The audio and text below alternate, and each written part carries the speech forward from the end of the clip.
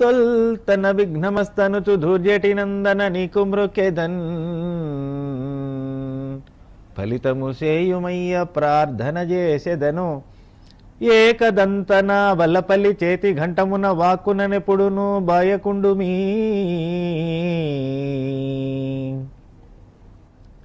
తలచితినే గణనాథుని తలచితినే విఘ్నపతిని నే తలచిన పనిగా తలచితినే హేరంబుని తలచిన నా విఘ్నములు తొలగుట కొరకున్.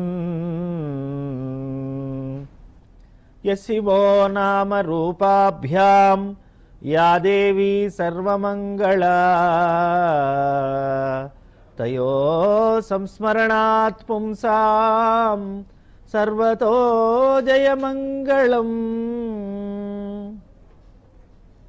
శరదిందు వికాస మందహాసాం స్ఫురదిందీవరలోచనాభిరామాం అరవింద సమాన సుందరాస్యాం అరవిందాసన సుందరీముపాసే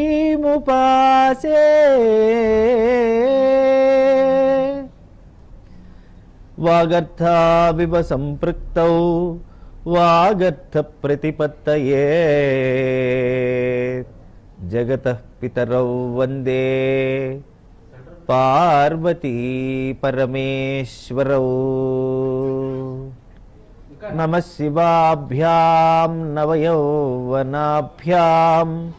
परस्पराश्लिष्टवपुर्धराभ्याम्। పరస్పరాశ్లిష్టవపుర్ధరాభ్యాం నగేంద్రకన్యా వృషకేతనాభ్యాం నమో నమ శంకర పార్వతీభ్యాం సదాశివసమారంభాం శంకరాచార్యమధ్యమాం అస్మదాచార్యపర్యంతాం వందే గురు పరంపరాం ఈ జగత్తుకే మాతాపితరులైనటువంటి పార్వతీ పరమేశ్వరులకు ప్రత్యక్ష దైవాలైన నా మాతాపితరులకు హృదయపూర్వకంగా భక్తిపూర్వకంగా నమస్కరించుకొని ఇవాల్టి కార్తీక పురాణ ప్రవచనాన్ని ప్రారంభం చేస్తూ ఉన్నాను. కార్తీక మాసంలో ఏం చేయాలో తెలుపవలసినదిగా ప్రార్థన అని జనక మహారాజు వశిష్ఠుల వారిని అడగడం ఆయన వివరంగా ఆ విధి విధానాన్ని గురించి చెప్పడం మనకు తెలిసిన విషయమే కదా. వేదవ్యాసుడు రాసిన స్కాంద పురాణంలోని కార్తీక మాస వైశిష్ట్యానికి సంబంధించిన పూర్తి వివరాలున్నాయనుకున్నాం కదా. నిన్నటి రోజున మనం పృథు చక్రవర్తికి నారదుడు చెప్పిన విషయాల గురించి తెలుసుకుంటూ ఉన్నాం. ఇవాళ కూడా ఆ విషయాల గురించే మాట్లాడుకుంటాం. నారదుడు పృథు చక్రవర్తికి చెబుతూ ఉన్నాడు ఓ పృథు నరపాల కార్తీక వ్రతాన్ని ఆచరించేటువంటి పురుషుడు పాటించాల్సిన నియమాలు ఏవైతే ఉన్నాయో వాటి గురించి నీకు వివరంగా చెబుతాను. శ్రద్ధగా విను. కార్తీక వ్రతం చేసేటువంటి పురుషుడు మాంసము తేనె రేగుపండ్లు నల్ల ఆవాలు ఉన్మాదకాల్ని తినకూడదు. పరాన్న భుక్తి పరద్రోహం దేశాటన త్యజించాలి. తీర్థయాత్రలు మాత్రం చేయొచ్చు. దేవతల్ని గురువుల్ని బ్రాహ్మణులను రాజును స్త్రీలను దూషించకూడదు. అట్లాగే గోవ్రతస్థుల్ని కూడా దూషించకూడదు. అవిసె నూనెను నువ్వుల నూనెను విక్రయాన్నాన్ని నిందతో కూడిన అన్నాన్ని దూషితాహారాన్ని కలుషితమైన ఆహారాన్ని స్వీకరించకూడదు. ప్రాణులకు సంబంధించిన మాంస చూర్ణాలను ఆమ్ల సంబంధితాలైన నిమ్మకాయలు కొర్రలు లాంటి హీనధాన్యాల్ని చద్ది అన్నాన్ని తినకూడదు. మీరందరూ నన్ను క్షమించాలి. నేను మీకు చెబుతున్నాను కానీ ఈ విషయం నేను మాత్రం కొన్నేళ్ళుగా శరీరాన్ని శుద్ధి చేసుకోవడానికి తేజోవంతంగా ఉంచుకోవడానికి శక్తివంతంగా ఉంచుకోవడానికి నిమ్మకాయ తీసుకుంటాను. ఉన్నది ఉన్నట్టు చెప్పడం నాకు అలవాటు. అందువల్ల మీకు చెబుతున్నాను కాబట్టి మిమ్మల్ని క్షమాపణ అడిగాను. ఎందుకంటే మనం ఏది ఆచరిస్తామో అదే చెప్పాలి. నిమ్మకాయ రసం శరీరంలోని అనేక విష పదార్థాలని విష రసాయనాలను బయటకు నెట్టే నెట్టేస్తుంది కాబట్టి నేను చాలా కాలంగా దాన్ని తీసుకుంటూ ఉన్నాను. పైగా అది తక్షణమే శక్తిని సమకూర్చేటువంటి పానీయం కూడా. అందువల్ల నేను రోజంతా ఉపవాసం ఉంటాను కాబట్టి నిమ్మకాయ రసాన్ని తీసుకుంటాను. దీన్ని నేను ఎగ్జంప్షన్ కింద తీసుకుంటాను. గురువుల అనుమతితో. మేక గేదె ఆవు వీటి పాలు తప్ప మరే ఇతర ప్రాణుల పాలను తీసుకోరాదు. బ్రాహ్మణుల చేత అమ్మబడే రసాయనాలను భూజాత లవణాలను విసర్జించాలి. అంటే ఈ రోజుల్లో కర్రీ పాయింట్లు ఉంటాయి కదా వాటి నుంచి కూరల్ని ఇతరత్ర ఆహార పదార్థాలని కొనకూడదన్నమాట. కానీ నిజానికి బ్రాహ్మణులు మెయింటైన్ చేసేటువంటి కర్రీ పాయింట్ల నుంచి కూరల్ని చాలామంది ఈ రోజుల్లో కొనుక్కొని తీసుకొని ఇంటికి వెళ్ళేటప్పుడు వాటిని కొని తీసుకుని వెళ్ళడం పరిపాటి అయింది. ఎందుకంటే మనం పట్టణాల్లో ఉంటాం నగరాల్లో ఉంటాం పగలల్లో ఆఫీసుల్లో పనిచేసి సాయంత్రం ఆలస్యంగా ఇంటికి వెళ్ళేటప్పుడు ఇలా కర్రీ పాయింట్ల కూరలను కొనుక్కొని ఇంటికి వెళ్ళాక అన్నం మాత్రం వండుకొని చకచకా తినేయడం చాలా తేలిక పని. అందువల్ల కాలమాన పరిస్థితుల్ని బట్టి మనం ఏ సత్యకాలంలోనో లేక కృతయుగంలోనో లేక ద్వాపరయుగంలోనో లేము కాబట్టి కలియుగంలో ఉన్నాం కాబట్టి మన నిత్య నైమిత్తిక కర్మల్ని శ్రద్ధగా ఆచరిస్తూనే మన ఆధ్యాత్మిక ఆధ్యాత్మిక విషయాలను కూడా చూసుకోవాలి కాబట్టి చకచకా కాలాన్ని బట్టి పనులు చేసుకుంటూ వెళ్ళిపోవాలి కాబట్టి ఇవేం తప్పు లేదనేది నా భావన. కేవలం నా భావన. నేను రోజు వెళ్ళే దారిలో శుభ్రంగా పరిశుద్ధంగా కూరలు వండే ఓ బ్రాహ్మణ కర్రీ పాయింట్ నుంచి చక్కగా వండిన కూరల్ని తీసుకెళ్తాను.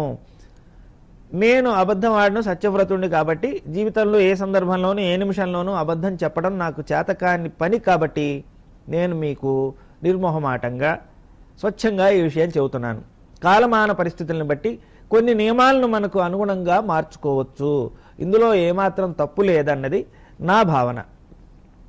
బయట వంట చేసేవాళ్ళు అనేక రకాలైన భావనలతో అనేక రకాలైన ఆలోచనలతో వంట చేసే అవకాశం ఉంటుంది కాబట్టి వాళ్ళ యొక్క ఆ భావనలు ఆ ఆలోచనలు ఆ ఆహారంలో ప్రవేశిస్తాయి కాబట్టి అవి మనం తినే ఆహారం ద్వారా మనలోకి ప్రవేశిస్తాయి కాబట్టి ఇవన్నీ సరి చేయడం సరికాదు అని పెద్దలు చెప్పారు. మీకు వీలైతే చక్కగా ఇంట్లో చేసుకోవడం చాలా మంచిది. కానీ మనం ఆహారాన్ని స్వీకరించేటప్పుడు బ్రహ్మార్పణం చేసి స్వీకరిస్తాం కాబట్టి ఆ దోషం పోతుంది దోషం ఉండదు అన్నది నా భావన. ఉన్నది ఉన్నట్టుగా చెప్పడం అలవాటు. నిష్కర్షగా నిర్మోహమాటంగా చెప్పడం నా అలవాటు. కాబట్టి ఉన్నది ఉన్నట్టుగా చెబుతున్నాను. రాగి పాత్రలో ఉంచిన పంచగవ్యాలు చిన్న చిన్న గుంటల్లో ఉండే కుళ్ళు దైవానికి నివేదన చేయనేటువంటి అన్నం ఈ మూడింటిని మాంసంతో సమానమైనవి అని పెద్దలు చెప్పారు. కనుక వాటిని తీసుకోవడం సరికాదు. బ్రహ్మచర్యాన్ని భూషయనాన్ని తప్పక పాటించాలి. ఈ రెండు కూడా మీకు వీలైన దాన్ని బట్టి చేసుకోండి. మీ మీ విద్యుక్త ధర్మాల్ని విస్మరించడం సరికాదని నా ప్రగాఢమైనటువంటి అభిప్రాయం. మనిషి ఏ ధర్మాన్ని ఎప్పుడు ఎక్కడ ఎలా చేయాలో అలా చేయాల్సిందే. పెద్దవాళ్ళు చెప్పిన విషయాల్ని మనకు అనుగుణంగా సరిచూసుకొని పాటించాల్సిందే. నిజానికి నేను నిత్యం చిన్న పరుపు కాదు పరుపు లాంటి చిన్న బొంతలతో కుట్టినటువంటి దుప్పటిని కిందే వేసుకొని నేల మీదే పడుకుంటాను. భూతల శయనం ఎప్పటికీ శ్రేయస్కరం. ఎన్నో ఏళ్ళుగా నేను చేస్తున్న పని నాకు వీలైంది కాబట్టి చేస్తున్నా. మీకు వీలైతే పాటించండి. లేకపోతే మామూలుగానే కనీసం చెక్క మంచం మీద పడుకోండి. ఎలాంటి అభ్యంతరము లేదు. నేను చెబుతున్నాను నిస్సంకోచంగా నిర్మోహమాటంగా మీరు అలా చేయవచ్చును. మీకు ఏ లంబార్ పెయినో ఏ స్పాండిలైటిసో ఉన్నాయనుకోండి. మీరు నేల మీద పడుకోవడం ఇబ్బంది అనుకోండి అలాంటప్పుడు నేను కార్తీక వ్రతం చేయాలి కదా. అనుకొని నేల మీద బలవంతంగా పడుకొని కొత్త ఇబ్బందుల్ని కోరి కొని తెచ్చుకోవడం కంటే మీకు నిత్యం ఎలా అలవాటో అలా పడుకోవడమే మంచిది. అంతేగాని శాస్త్రం చెప్పింది కదా అని లేనిపోని కొత్త ఇబ్బందుల్ని కొని తెచ్చుకోవడం మంచిది కాదు. లేనిపోని తలనొప్పుల్ని తెచ్చుకోవడం మంచిది కాదు. ఆకుల్లోనే భోజనం చేయాలి ఇహ. ఇదిగో ఇది ఉందా మీకు సర్వకాల సర్వావస్థల్లోనూ మేలు కలిగించేది కాబట్టి తప్పనిసరిగా పెద్దలు చెప్పిన ఈ నియమాన్ని తూచా తప్పకుండా పాటించండి. అరటి ఆకులో భోజనం చేస్తే అనేక రకాలైన రోగాల బారిన పడకుండా ఉండడానికి వీలవుతుంది. చక్కటి ఆరోగ్యం కలుగుతుంది. ఆరోగ్యపరంగా మీకు ఎంతో మేలు కలుగుతుంది. మీకు దగ్గరలో ఉన్న పండ్లు పూల మార్కెట్లలో తప్పనిసరిగా వేరే ఆకులు దొరక్కపోవచ్చు కానీ షాపులో మోదుగాకుల విస్తడు దొరకచ్చు కానీ కనీసం అరటి ఆకులు అయితే పుష్కలంగా మార్కెట్లలో దొరుకుతాయి. అథవా మీకు దగ్గరలో ఉన్న ఏదైనా ఇంట్లో అరటి చెట్లు ఉంటే అయ్యా మేము కార్తీక వ్రతాన్ని భక్తితో చేసుకుంటున్నాం. కాస్త అరటి ఆకులు భోజనం కోసం ఇస్తారా అంటే ఒకటి రెండు ఆకుల్ని నిత్యం మీకు ఇవ్వడానికి ఎవరికి ఎలాంటి అభ్యంతరాలు ఉండవు ఉండకపోవచ్చు. చక్కగా సంతోషంగా ఇస్తారు మంచి పని చేస్తున్నామంటే. నాలుగవ జామునే భుజించడం శ్రేష్టం. మీరు పగలల్లా ఉపవాసం ఉండి ఏదో ఫలహారం తినేసి లేదా ఏదో టిఫిన్ చేసేసి ఇంటికి వెళ్ళేసరికి అదే టైం అవుతుంది కాబట్టి ఇందులో కూడా మీకు ఎలాంటి ఇబ్బంది ఉండదు. కార్తీక వ్రతం చేసేవాళ్ళు ఒక్క నరక చతుర్దశి నాడు తప్ప మిగతా రోజుల్లో తైలాభ్యంగన స్నానం చేయకూడదు ఎలాగూ నరక నరక చతుర్దశి ముందే వస్తుంది కాబట్టి ఆ రోజున ప్రతి మనిషి తప్పనిసరిగా తైలాభ్యంగన స్నానం చేయాలి కాబట్టి అలా చేయడం విధాయకం కాబట్టి ఎలాగూ మీరు అమావాస్య తర్వాతే కార్తీక వ్రతాన్ని మొదలు పెడతారు కాబట్టి పాడ్యం నుంచి లేదా ఏకాదశి నుంచి మొదలు పెడతారు కాబట్టి ఈ నియమానికి కూడా ఎటువంటి అభ్యంతరము లేదు. కార్తీక మాసంలో విష్ణు వ్రతం చేసేవాళ్ళు వంకాయ గుమ్మడికాయ వాకుడుకాయ పుచ్చకాయల్ని తినకూడదు అని నియమం. ఎలాగూ ఏ మనిషి అయినా సరే అదే పనిగా ఇవన్నీ తినడం కద్దు. బహిష్ఠులతోనూ మ్లేచ్ఛులతోనూ వ్రత భ్రష్టులతోనూ వేదాలను విమర్శించే వారితోనూ నిందించే వారితోనూ మీరు మాట్లాడకూడదు. ఎలాగూ మనం నిత్యం చేసే పని ఇదే కాబట్టి అలాంటి వాళ్ళతో మాట్లాడి మన పుణ్యాన్ని పాజిటివ్ ఎనర్జీని మనం వేస్ట్ చేసుకోం కాబట్టి ఈ నియమం కూడా మనకి పెద్ద కష్టమేం కాదు. అట్లాంటి వాళ్ళ ఎంగిల్ని కానీ కాకులు తాకిన ఆహారాన్ని కానీ అశౌచ సంబంధిత ఆహారాన్ని కానీ ఒకసారి వండి మళ్ళీ ఉడికించిన ఆహారాన్ని కానీ అట్లాగే మాడిన అన్నాన్ని కానీ తినకూడదు. ఇందులో కూడా మనకు చాలా మేలు చేసే నియమమే కనిపిస్తుంది తప్ప ఇబ్బంది కలిగించేది ఏమీ లేదు. తాకకూడని వాళ్ళు తాకిన అన్నాన్ని మనం ఎప్పుడు ఎక్కడా ఎలాగూ తినం. మొదటి విషయం. రెండోది కాకులు తాకిన అన్నాన్ని తినడం లోకంలో మనకి ఎక్కడా కనిపించదు. ఎవరు దానికి ఇష్టపడరు కూడా. సాధారణంగా సర్వసామాన్యంగా. కాబట్టి ఇది కూడా మనకు సరిపోయే నియమమే. ఇక ఒకసారి వండిన అన్నాన్ని మళ్ళీ ఉడికించి తినడం అంటే కోరి అనారోగ్యాన్ని కొని తెచ్చుకున్నట్టే. కానీ ఈ రోజుల్లో ఇది చాలా పెద్ద ఫ్యాషన్ అయిపోయింది. నేను చాలా మందిని చూశాను. వాళ్ళ బద్ధకం మండిపోను వాళ్ళ దురాచారం మండిపోను వాళ్ళ అలసత్వం మండిపోను. ఇట్లా అంటున్నాను ఏమో అనుకోకండి. వారానికి సరిపడా ఒకేసారి పప్పు సాంబారు కూరలు వండుకొని చక్కగా చద్దిపెట్టెలు అంటే ఫ్రిడ్జ్లో పెట్టేసుకొని అవసరమైనప్పుడల్లా వాటిని బయటికి తీసి ఓ చిన్న బౌల్లో వేసుకొని వాటిని మైక్రోవేవ్లో పెట్టుకొని వేడి చేసుకొని తినేటువంటి ముదనష్టపు సాంప్రదాయాన్ని నేను చాలా చోట చాలా చోట్ల చాలామంది ఇళ్ళలో చూశాను. రోగాలు రోస్టులు రాకపోతే ఏమొస్తాయి? ఇట్లాంటి పనులు చేస్తే? ఏం రోజు సరిపడా వండుకోవడానికి ఏమి ఇబ్బందట? ఏం రోజు చక్కగా వేడి అన్నాన్ని పదార్థాలను వండుకొని తినడానికి ఏమిటా ఇబ్బంది? ఇతరుల సంగతి సరే పక్కన పెట్టండి. బాగా తెగవలసిన బ్రాహ్మలు కూడా ఇట్లాంటి దురాచారాలకు లోబడిపోతే వాటినే పోష్ అనుకొని లేటెస్ట్ ఫ్యాషన్ అనుకొని ఇలా చేస్తుంటే ఎంత దుర్మార్గం అండి. చెప్పరానంతటి దుర్మార్గం. నేను ఇరవై ఏళ్ళ క్రితం అద్దెకున్న ఓ ఇంటి ఓనర్ ఇట్లాగే చేయడం చూశాను.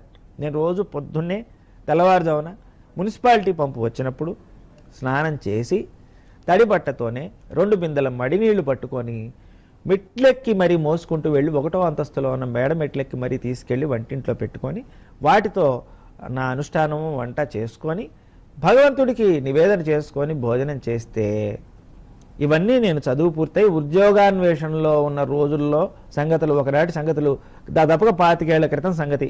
ఆ ఇంటి ఓనర్ గారి భార్య వాళ్ళు కూడా బ్రాహ్మలే అయినప్పటికీ నేను రోజు అలా చేస్తున్నానని తెగ ఆయాసపడిపోయి ఆవేశపడిపోయి కుళ్ళుకొని ఆవేదన చెంది మీరు అలా చేస్తే మేము చేయట్లేదంటని మమ్మల్ని చుట్టుపక్కల వాళ్ళందరూ అనుకుంటారు. అలా రోజు పొద్దున్నే తడిపట్టతో మన్నీళ్ళు తెచ్చుకోవడానికి వీల్లేదు అని ఒక ఆంక్ష పెట్టింది నా మీద. మీరు అలా చేస్తే మీతో పాటు మేము కూడా చేయాల్సి వస్తుంది. చుట్టుపక్కల చూసేవాళ్ళేమో మీరేమో సద్బ్రాహ్మణులు మేమేమో బ్రాహ్మణులం కాదని అనుకోవాలా? మీరు సదాచార సంపన్నులు మేం కాదని అనుకోవాలని అదే పనిగా ప్రత్యేకంగా వచ్చి మరీ తగాద పెట్టుకుని చూసారా ఎంతటి తామస గుణమో రజగుణమో నువ్వు చెయ్య నువ్వేమో చెయ్యవా చేయలేవా సద్దిపెట్టెలో పెట్టుకొని నెల రోజులు సరిపడా పెట్టుకొని వాటిని తీసుకొని వేడి చేసుకొని తింటావా? రోగాలు రొస్టులు తెచ్చుకుంటావా? కోరుకొని తెచ్చుకుంటావా? నిజంగానే వాళ్ళకి బోళ్ళని రోగాలు రొస్టులు గుప్పెళ్ళు గుప్పెళ్ళు మందులు మింగేవాళ్ళు. ఎన్ని డబ్బులుంటే ఏం లాభం? ఆరోగ్యం సంతోషం లేకపోయిన తర్వాత బాగా గుర్తుపెట్టుకోండి. ఒక్కసారి వండిన అన్నాన్ని వండిన ఆహార పదార్థాలని మళ్ళీ ఇంకోసారి మీరు పొయ్యి మీద పెట్టుకొని వేడి చేసుకొని తిన్నారంటే అది నేరుగా మీరు విషాన్ని తిన్నట్టే. కోరి కోరి మీరు విషాన్ని తింటున్నారన్న సంగతిని బాగా గుర్తుపెట్టుకోండి. ఆహార పదార్థాలు చల్లబడిపోయాక వాటిలో బ్యాక్టీరియా పుస్- పుట్టుకొస్తుంది కాబట్టి. కావాలంటే ఆ రోజుకి మీకు తెలియకపోవచ్చు కానీ మర్నాడు లేదా ఆ మర్నాడు చూడండి. చక్కగా బూజు పుట్టుకొస్తుంది. బ్యాక్టీరియా ఆ ఆహార పదార్థాల మీద స్పష్టంగా కనిపిస్తుంది. మన పెద్దవాళ్ళు చక్కగా ఎప్పటికప్పుడు శుచిగా శుభ్రంగా మడితో వండుకొని తినండి నాయన అని ఊరికనే చెప్పలేదు మనకి. మన ఆరోగ్యం కోసమే చెప్పారు. మితంగా తినండి నాయన అని ఊరికనే చెప్పలేదు. మన ఆరోగ్యం కోసం సౌభాగ్యం కోసమే చెప్పారు. మన మేలు కోసమే చెప్పారు. అప్పుడెప్పుడో సంగతి కదా. తర్వాత నేను వెంటనే ఆ ఇల్లు ఖాళీ చేయడం ఇంకో చోటికి వెళ్ళిపోవడం జరిగాయనుకోండి చకచక. ఆవిడ్ని ఆ ఇంటి ఓనర్ని ఇంతగా విమర్శించిన నేను పరమ నిష్ఠాగరిష్ఠుడుగా ఉన్న నేను తర్వాత చాలా కాలానికి జర్నలిస్టునయ్యాను. ఆ తర్వాత కాలానికి కొంతకాలానికి స్నాన సంధ్యలు సరైన సమయానికి చేయకుండా పూజా పునస్కారాలు మానేసి ఇంతకు ముందు ఎపిసోడ్స్లో పూజా పునస్కారాలు అక్కర్లేదు మనసు శుద్ధంగా ఉంటే చాలు అని లెక్చర్లు దంచేవాళ్ళు బోళ్ళంతమంది పుట్టుకొస్తున్నారని చెప్పా కదా.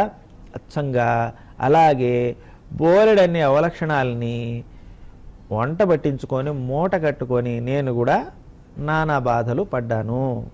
ఈ భూమి మీదే ప్రత్యక్షంగా నరకాన్ని చవి చూశాను. అబద్ధాలు ఆడడం నాకు అలవాట్లేదు. ఉన్నది ఉన్నట్టుగా చెప్పడం అలవాటు. అందుకే ఇట్లా చెప్పడానికి నాకు ఏ విధమైన సిగ్గుపడాల్సిన అవసరం లేదు. శశభిషలు లేవు. మళ్ళీ భగవంతుడు దయతలిచి నా ఎందు ప్రేమతో మళ్ళీ నన్ను ధర్మ మార్గంలోకి లాక్కొచ్చాడు కాబట్టి సరిపోయింది. మళ్ళీ పూజా పునస్కారం ధర్మాచరణ మార్గంలోకి వచ్చేశాను. ఇదంతా ఒక లీల. విధి ఆడేటువంటి వింత నాటకము. ప్రలోభాలు ఎప్పుడు మనతో పాటుగా ఈ పక్కన ఈ పక్కన ఉంటూనే ఉంటాయి. పడిపోయామా? అధోలోకాలకు వెళ్ళిపోతాం అధపతితలం అవుతాం. వాటిని చూడకుండా పట్టించుకోకుండా ముక్కుసూటిగా భగవంతుడి పాదాలను మాత్రమే నమ్ముకొని ముందుకు వెళ్ళామా? మనల్ని ఆయన కంటికి రెప్పలా కాపాడుకుంటూనే ఉంటాడు. సర్వకాల సర్వావస్థల్లోనూ కాపాడుతాడు. ఇదే నిజం. ఇదే అసలు నిజం. తెలుసుకున్న వాళ్ళకు అదే పరమ సుఖం. తెలుసుకోలేని వాళ్ళకు కోరి కొని తెచ్చుకునే నరకం భూమి మీదే సిద్ధంగా ఉంటుంది. గుర్తుపెట్టుకోండి. మరి ఇన్ని తెలిసిన వాళ్ళు మీరు ఎలా పడ్డారో ఆ లంపటాలలో అంటే కర్మానుభవాన్ని తప్పించుకోవడం ఎవరికీ సాధ్యం కాదు. మళ్ళీ ఆ భగవంతుడే దయతలచి మనల్ని బయటపడేయాలి తప్ప మనం ఎంత మాత్రం వాళ్ళం అసలు చెప్పండి. గుమ్మడికాయ వాకుడు సరుగుడు ముల్లంగి మారేడు ఉసిరిక పుచ్చ కొబ్బరికాయ ఆనప రేగు వంకాయ ఉల్లిపాయ లాంటి వాటిని కార్తీక వ్రతం చేసేవాళ్ళు పాడ్యం నుంచి త్యజించాలి. కార్తీక మాసంలో ఇలా కొన్నింటిని తినకూడదు తినొచ్చు అనుకున్న వాటిని కేవలం ఈ మాసంలోనే కాక ఎప్పుడైనా సరే బ్రహ్మార్పణం చేసి మరీ తినడం శ్రేయస్కరం. మీకు ఓపిక ఉంటే కార్తీక వ్రతాన్ని ఏ విధంగా ఆచరిస్తారో అచ్చంగా అలాగే ఇవే నిల నియమాలను పాటిస్తూ మాఘమాసంలో కూడా మీరు సన్మార్గవర్తులై ఉండవచ్చు. కార్తీక వ్రతాన్ని యథావిధిగా ఆచరించే భక్తుల్ని చూసి యమదూతలు సింహాన్ని చూసిన ఏనుగులా పారిపోతారు. నూరు యజ్ఞాలు చేసిన వాళ్ళకు కూడా స్వర్గం మాత్రమే ప్రాప్తిస్తుంది. వైకుంఠ ప్రాప్తి కలగదు. కానీ కార్తీక వ్రతాన్ని శ్రద్ధగా చేసిన వాళ్ళకు తప్పనిసరిగా వైకుంఠ ప్రాప్తి కలుగుతుందని స్వయంగా శ్రీ మహావిష్ణువే చెప్పాడు. కాబట్టి యజ్ఞయాగాదుల కంటే కార్తీక వ్రతమే గొప్పదన్న విషయాన్ని తెలుసుకోవాలి రాజా. భూలోకంలో ఉన్న పుణ్యక్షేత్రాలు తీర్థాలన్నీ కూడా కార్తీక వ్రతం చేసే వాళ్ళను ఆశ్రయించి ఉంటాయి. వాళ్ళకు సహకరిస్తూ ఉంటాయి. పుణ్య సముపార్జనకు సహ- సహకరిస్తాయి. కాబట్టి కార్తీక వ్రతానికి ఎంతటి శక్తి ఉందో తెలుసుకో.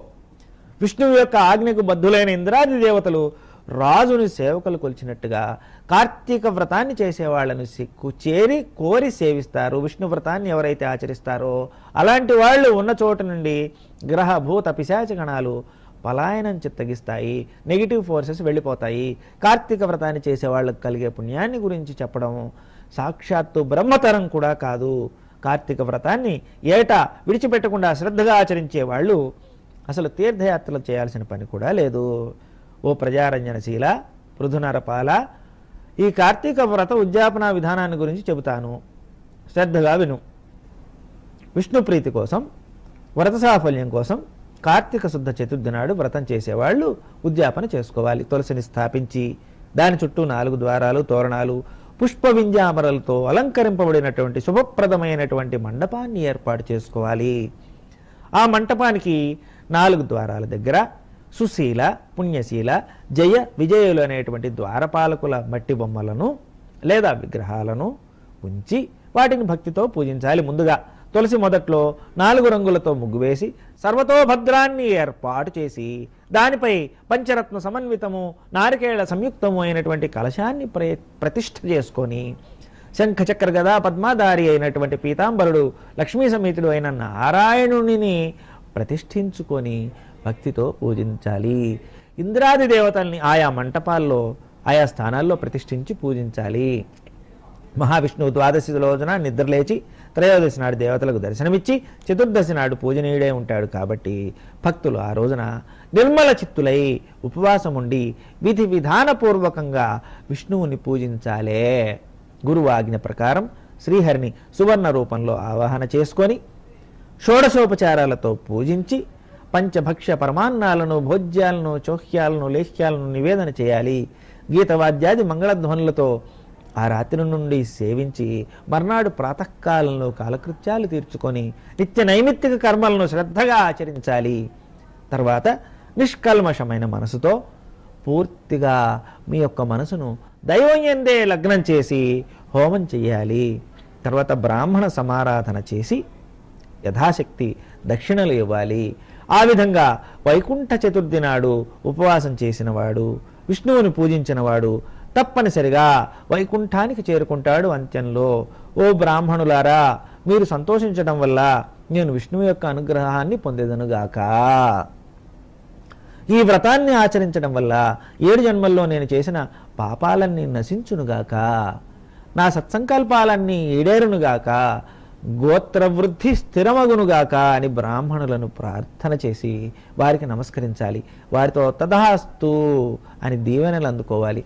తర్వాత మండపంలో ప్రతిష్ఠించిన దేవతలందరికీ ఉద్వాసన చెప్పి బంగారు కొమ్ములతో అలంకరించినటువంటి గోవును దూడతో సహా గురువుకు దానం ఇవ్వాలి. లేదా సద్బ్రాహ్మణుడికి దానం ఇవ్వాలి. ఆ తర్వాత సజ్జనులతో కలిసి భోజనం చేయాలి. భోజనం అయిన తర్వాత హరికథా కాలక్షేపం చేయాలి. ఈ విధంగా చేసిన వాళ్ళకు తప్పనిసరిగా అంత్యంలో వైకుంఠ ప్రాప్తి కలుగుతుంది అని నారదుడు పృథు చక్రవర్తికి వ్రత ఉద్యాపన విధానం గురించి తెలిపాడు. ఓ పృథు మహారాజా కార్తీక సోమవార వ్రతానికి ఇంతటి ఫలితం ఉంది అని నారదుడు ఈ విధానాన్నంతా పోసుగుచ్చినట్టుగా చెప్పాడు. ఇలా మనం ఈ నెలనాళ్ళు రోజుకో కథ చెప్పున మొత్తంగా కార్తీక వ్రత మహాత్మ్యానికి సంబంధించిన కథలన్నింటినీ చెప్పుకుంటూ ఉన్నాం.